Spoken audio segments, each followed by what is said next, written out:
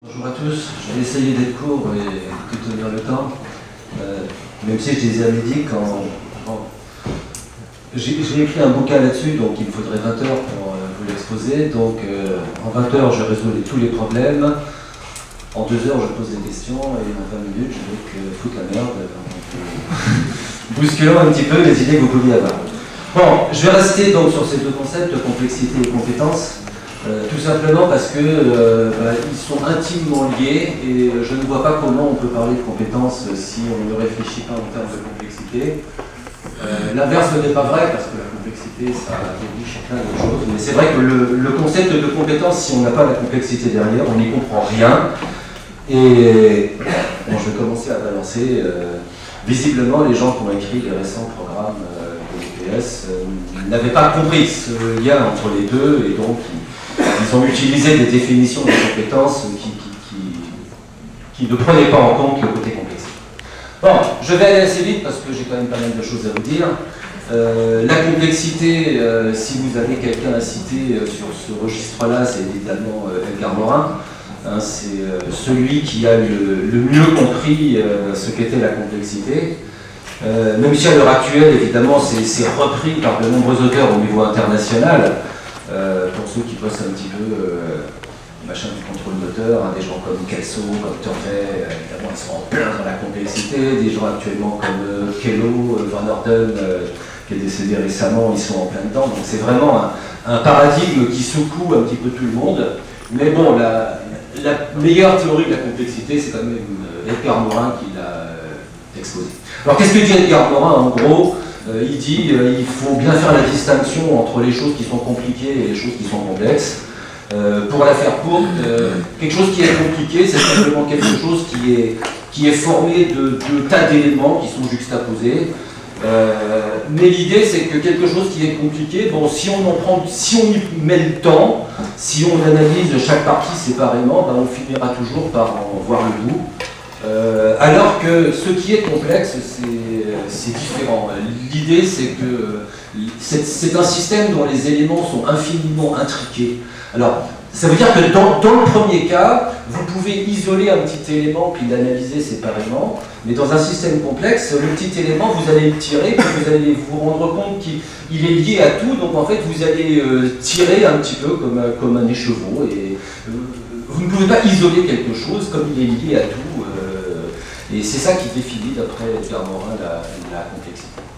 Donc, un, un, problème compliqué, on peut le réduire à une somme d'éléments plus ou moins euh, indépendants, alors que bah, le problème complexe, ça c'est un machin euh, qui avait déjà été dit au niveau de la, de la Gestalt théorie. Euh, un problème complexe n'est pas réductible à la somme des éléments qu'il compose, ça veut dire qu'il y a des, propriétés macroscopiques qui viennent du fait que les éléments sont en, interaction. Euh, alors je vous ai parlé de la Gestalt théorie, là ça date des années 20, euh, il s'est passé quand même pas mal de choses pour lui, et euh, la vision que l'on a de la complexité est un petit peu plus forgée à l'heure actuelle. Alors, ce qui est certain, et ça c'est quelque chose que Edgar Morin explique bien, c'est ce qu'il appelle les pièges de la pensée classique. On a beaucoup de mal à penser la complexité, et euh, on tombe dans des pièges euh, qui sont des pièges de, bon sens, quoi, de sens commun. Euh, on se rassure avec quelques poncifs euh, généraux, je vais vous en citer deux, Edgar Morin en cite une, une, bonne douzaine. Le premier, c'est ça, c'est une vision mécaniciste et déterministe du monde, avec l'idée en fait qu'on peut tout mettre en équation. Euh, ça tombe bien, je sais qu'Eric n'aime pas les équations. Euh. Moi, je les aime bien, mais je les remets à leur place. Quoi. Mais enfin, c'est cette idée quand même que, euh, voilà, vous connaissez, vous avez fait un petit peu de physique dans votre jeunesse, hein, vous avez un plan incliné, vous avez une petite bille qui roule, vous connaissez euh, euh, l'angle, vous connaissez la distance, l'accélération de la pesanteur, et puis voilà, vous avez une équation entièrement déterministe, et vous pouvez dire, à telle date, le machin, il va arriver là. Bon, ça, c'est pas un système complexe, c'est un système simple parce qu'on peut complètement le résoudre euh, par une équation. Et donc, le futur est entièrement prévisible. Euh, bon, ça, les, les scientifiques travaillent là-dessus depuis des, des, années. Hein, euh, mais bon, ce que nous dit Edgar Morin, c'est que, désolé, mais quand vous avez un système complexe, il n'est pas prévisible. On, ne peut pas le résumer par un modèle aussi simpliste que ça. Et d'une manière générale, quelle que soit même la complexité du modèle, on ne peut pas résumer un système complexe avec une équation simple. Euh, donc Edgar Morin dit euh, laissez tomber, vous n'y arriverez pas. Bon, puis si vous avez lu un petit peu, euh, j'espère en première main, peut-être en deuxième ou en troisième, des gens en effet comme Kelso, fait, eux ils, sont clairs quoi, quand ils disent que les phénomènes du contrôle moteur renvoient à une logique chaotique. Par définition, le chaos c'est du système complexe et on ne peut pas avec une équation, espérer résoudre tout ça. Donc c'est l'abandon de cette vision simpliste euh, du monde, et puis aussi c'est l'abandon de ça, du, principe de séparabilité, c'est-à-dire cette idée que j'avais déjà dénoncée dans la première diapo, hein, que, quand on a un système complexe, on peut le découper en petites parties, euh, les analyser séparément, puis après additionner euh, tout ça pour reconstituer l'ensemble. Bon, ça, c'est des principes qui avaient été euh, mis en avant par Descartes. Hein, le discours de la méthode il est fondé là-dessus. Vous avez un achat compliqué, vous séparez ça en petites unités, vous analysez tout, et puis vous reconstituerez après quelque chose qui a du, sens. Edgar Morin dit ça, ça ne peut pas fonctionner. Quand le système est vraiment complexe, désolé, on, on, ne peut le prendre en compte que de manière macroscopique, mais séparer les problèmes, ça marche. Bon, autre chose, petit Edgar Morin quand même, euh, dans la science classique, il y a un truc qui fonctionne bien, c'est-à-dire que si vous avez un effet, il doit y avoir une cause, et puis une cause produit un effet, et surtout il y a une proportionnalité entre les causes et les conséquences. Et c'est vrai que c'est quelque chose qui nous fait bien fonctionner. Euh, quand on voit quelque chose, chez un gamin par exemple, on se dit qu'il y a un truc qui l'a créé, et puis, euh, puis la proportionnalité, ça veut dire que la cause est donc à la hauteur de la, conséquence. Puis vous savez que la théorie du chaos, elle lance des machins comme l'effet papillon, euh, le, battement de l'aile du papillon dans la baie de qui peut déclencher un ouragan en Floride quelques semaines après. Euh, ce à quoi les théoriciens du chaos disent, mais euh, le battement de du papillon peut aussi ne pas le déclencher, puisque je vous ai dit tout à l'heure que le futur n'était pas prévisible. Donc vous voyez que les, belles certitudes que l'on a dans la science classique, on fait un modèle, on fait une équation, on sépare les trucs, on, prévoit le futur. Euh, les gens qui travaillent sur les systèmes complexes disent oula oula, tout ça, ça ne fonctionne pas. Les systèmes complexes, ils sont imprévisibles, on peut les voir que de manière macroscopique, et puis, euh, les belles équations qui résument l'ensemble, les beaux modèles, ça ne fonctionne pas. Voilà, alors partant de là, ça vous laisse, j'imagine, toi, surtout pour le rapport avec les compétences. Bon, alors, au-delà des pièges de la pensée classique, qu'est-ce qu'on peut dire des systèmes complexes? Qu'est-ce qu'on en sait? Euh, Bon, déjà, je vous ai dit hein, qu'un système complexe, ben, c'est évidemment formé d'éléments. Là, j'en ai mis 6, euh, mais en fait, on dit des milliers d'éléments en interrelation, et puis on dit que les, les, interrelations sont plus importantes que les éléments eux-mêmes. C'est ce qui fait que le tout est plus que la somme des parties. Euh, c'est un petit peu plus compliqué que ça. L'idée, c'est que en fait, euh, chaque système est plutôt que composé d'éléments en interaction, il est composé de sous-systèmes en interaction, et chaque sous-système étant lui-même un système complexe. Et on peut continuer comme ça. Euh, à l'infini avec des sous-sous-sous-systèmes. Donc la, complexité, et ça c'est une idée qu'il n'y avait pas dans la Gestalt théorie, c'est aussi une logique hiérarchique. En fait, c'est des systèmes complexes qui sont enchevêtrés les uns dans les autres. Ça finit par donner le vertige, hein, parce qu'on peut imaginer que vous avez le système le plus complexe qui est... Euh, allez, un système... Euh, donc c'est celui que vous avez en bas. Hein un système qui va être un système à l'échelle euh, galactique, et puis vous allez remonter à un système au niveau, au niveau système solaire, et puis vous allez remonter à un système planétaire, et puis vous allez remonter à un système au niveau de niche écologique, et puis après vous allez mettre des individus ou des sociétés, des sociétés d'abord, puis ensuite vous allez mettre des individus, puis vous allez remonter comme ça jusqu'à la cellule. Bon, ça file le vertige, surtout quand on est scientifique, on s'intéresse à un sous-système d'un élément de ce machin complexe, et on se dit qu'on est tout petit, donc on a du mal à comprendre l'ensemble. Bref, euh, voilà comment euh, on essaie de voir les problèmes de la complexité, et, c'est vrai que ça nous fait tout petit. Euh, quoi vous dire d'autre? Les systèmes complexes, ce qui est important, c'est que, et là il y, a beaucoup d'auteurs qui travaillent sur cette idée-là. Le complexe, c'est quelque chose qui est un compromis entre l'ordre et le désordre. Euh, vous retrouverez ça par exemple dans l'ouvrage d'Henri Atlan en 79. Hein, euh, l'ouvrage s'appelle Entre le cristal et la fumée. Et euh, pour lui, en fait, le cristal, c'est l'ordre, la fumée, c'est le désordre. Et il dit que la vie, en fait, la nature, trouve son chemin à mi-chemin entre les deux. Et là, vous avez une autre illustration, c'est les termes que l'on emploie actuellement. Ici, vous avez un système qui est composé d'une infinité d'éléments, mais il n'y a pas ces interrelations dont je parlais tout à l'heure. Donc en fait, c'est des éléments qui sont indépendants. On peut dire que ce système-là, il est compliqué seulement. Vous pouvez analyser tous les éléments séparément, puis quand vous ferez la somme, vous aurez l'ensemble. Mais comme il n'y a pas ces interrelations, bah, c'est un, système, entre guillemets, dans lequel euh, règne le plus profond désordre, et donc le produit de ce système, c'est du hasard.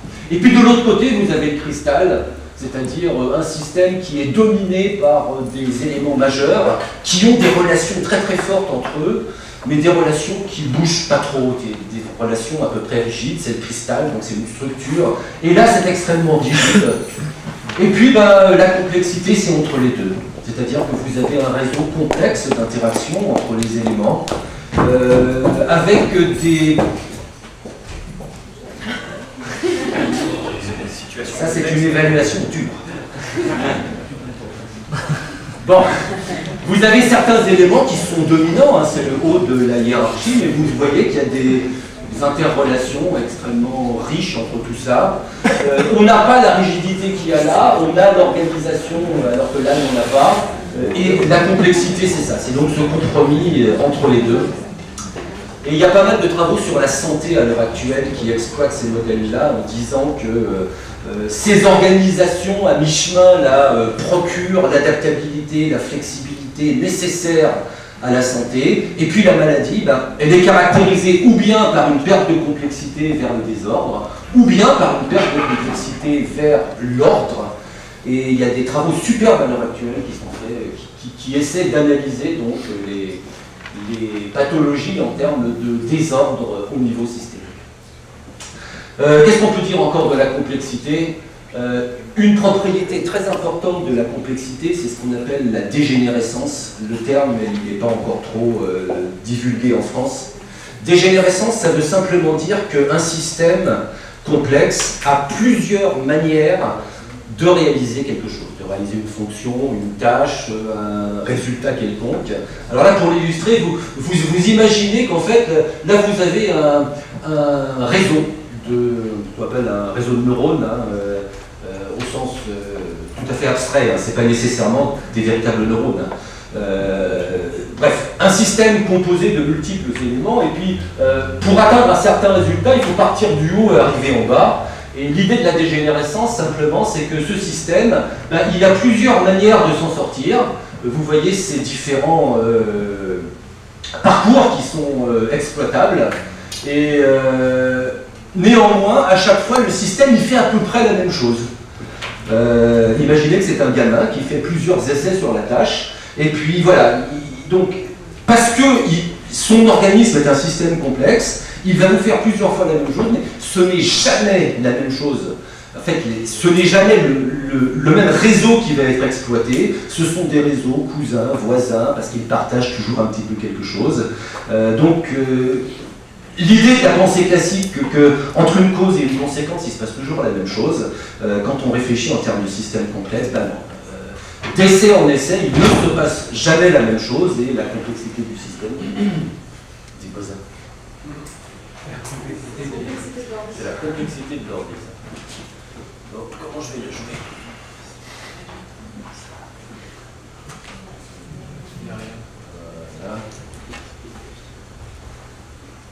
Bon, l'autre idée euh, de la complexité, bah, c'est évidemment euh, c'est l'idée que les systèmes complexes, en fait, euh, ils, produisent des, comportements macroscopiques. Là, j'ai reproduit le fameux attracteur de, Lorentz, qui est un des produits des, systèmes complexes. J'aurais pu mettre n'importe quoi. Euh, l'idée, c'est que euh, classiquement, on pensait que lorsqu'un système complexe produisait un comportement coordonnées, il y avait nécessairement une intelligence extérieure au système qui pensait le comportement puis qui le prescrivait. Alors ça peut être un dieu par exemple, hein, toutes les théories déistes pensent que si le monde est parfait, euh, bah, c'est qu'il y a un Dieu nécessairement qui l'a pensé et qui l'a créé euh, à son image, comme dit la Bible. Euh, et puis, bah, c'est Schmitt, par exemple, qui dit que bah, si on a à un moment donné une activité coordonnée au niveau du système effecteur, c'est qu'il y a le cerveau qui a pensé le programme moteur. Dans la bulle, vous avez le programme moteur. Là, donc, la coordination, elle est pensée ça, de manière symbolique, puis elle est prescrite au système. Alors, euh, les gens qui réfléchissent sur les systèmes complexes, euh, ils ont démontré de manière assez claire que en fait, les systèmes complexes sont capables d'auto-organisation et que bah, le comportement, il émerge euh, de la complexité même du système. C'est ce qu'on appelle des propriétés macroscopiques des systèmes complexes. Alors, il faut que le système soit complexe pour que ces propriétés macroscopiques émergent. un système simple ne fait rien sortir. Mais par contre, un système complexe, c'est vrai qu'il y a des comportements euh, qui, viennent de ces interactions entre les multiples éléments. Et ça, bon, ça a été à la base de la controverse entre les théories euh, cognitivistes et les théories euh, dynamiques. Controverse que vous connaissez sans doute, qui s'est illustrée d'ailleurs en France entre le nord de la France et le sud de la France, puisque les, les dynamiciens sont en général pour tout Méditerranée. Euh, ce qui nous amène, euh, bah, qu'est-ce qui est complexe euh, Les organismes sont complexes, les sociétés sont complexes, les, et puis les situations aussi dans lesquelles on est confronté ou auxquelles on confronte les gamins, elles sont plus ou moins complexes. Et là, bon, c'est un graphique que vous connaissez peut-être parce que je l'ai déjà publié dans 5 ou 6 publications. C'est un graphique de Francisco Varela qui oppose l'idée d'une situation simple ici à gauche et une situation complexe euh, à droite. Euh, la situation complexe de droite, c'est la, conduite automobile. Et lui, il prenait là les échecs pour euh, rendre compte de cette situation simple. si on veut aller vite, voilà un exemple de situation simple en éducation physique. Pauvre gamin qui fait le poirier tout seul au milieu de son praticable. Qu'est-ce qu'on peut dire? Déjà, le, bah, vous allez retrouver ce que j'ai dit jusqu'à présent. Hein, dans une, dans une situation simple, il y a un nombre fini d'éléments. J'ai pris exprès cet exemple-là. Le praticable, il est nul, le gamin, il a une seule chose à faire, il fait, fait le poirier. Euh, et, hein, on lui a fixé des critères de réalisation très très simples. Tu fais ça ou pas autre chose. Euh, ben voilà, puis il est tout seul. Donc indirect, c'est une situation psychomotrice. Non, en fait, il y en a deux qui le regardent. Alors on se demande si c'est vraiment ce euh, elle, est, clairement délimitée. Hein, vous voyez que le fait qu'elle soit clairement délimitée, ça veut dire que le gamin sait ce qui appartient à la situation et ce qui n'y appartient pas. A priori, les deux qui sont là, ils n'y appartiennent pas, ils regardent de très très loin. Le matériel qui est derrière, euh, le, mini trampoline, le cheval, les espaliers, c'est en dehors, il n'a pas à les utiliser, donc voilà, c'est clairement délimité, il sait ce qui, Famos aurait dit que la tâche est définie. Euh, elle possède un but clair. Je vous ai dit, le gamin doit faire le poirier, euh, et voilà. Et puis une solution univoque. Il n'y a pas 36 manières de faire le poirier, euh, donc voilà. C'est ce qu'on appelle une tâche. Quoi. Puis elle est épurée et artificielle. on dira qu'elle n'a pas de sens culturel parce qu'en soi le poirier, et surtout en ce moment, on a essayé de voir un gymnaste à la télé qui fait le poirier, il passe plus à la télé ces gens-là. Et puis à côté, vous avez des situations complexes. Alors là, bon, j'ai mis quelqu'un qui faisait de l'escalade parce que je suis grimpeur et que. Mais bon, l'exemple est.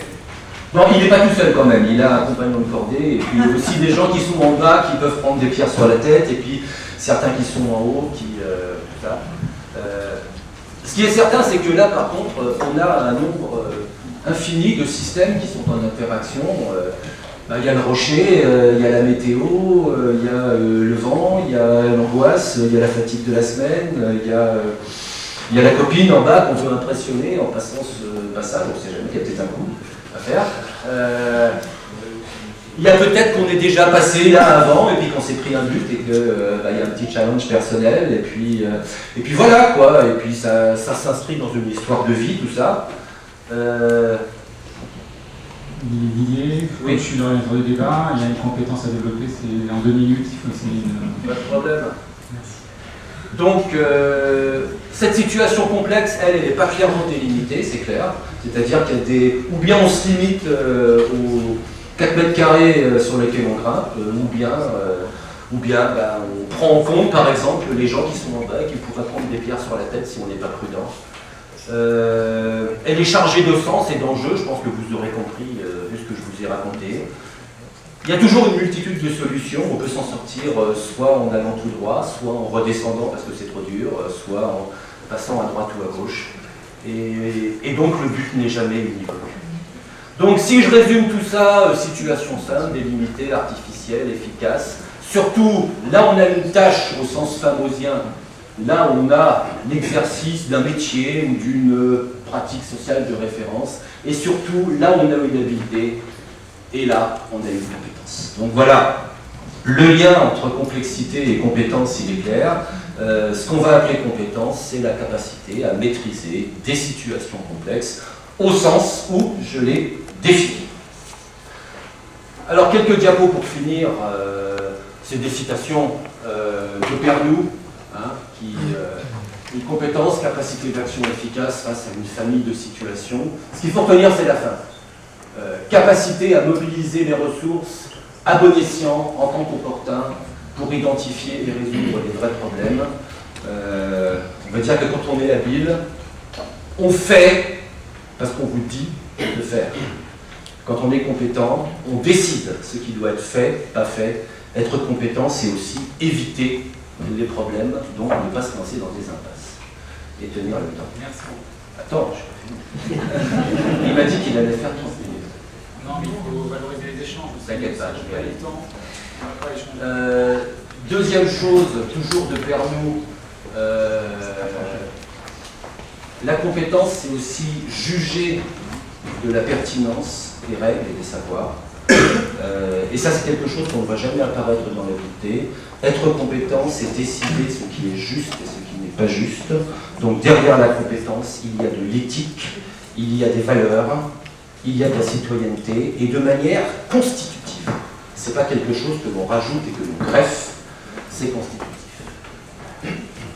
Et enfin, alors ça c'est Gérard qui le dit, hein, c'est en sciences de l'éducation, hein, ça sera ma conclusion, la complexité est au cœur de l'approche par les compétences. Être compétent, c'est pouvoir gérer le complexe, parce que la vie, les groupes, l'individu, l'environnement sont d'une complexité. Voilà, donc message, on ne peut comprendre le concept de compétence et donc l'utiliser, l'exploiter au niveau de l'enseignement que si on comprend les liens que ce concept entretient avec la compétence.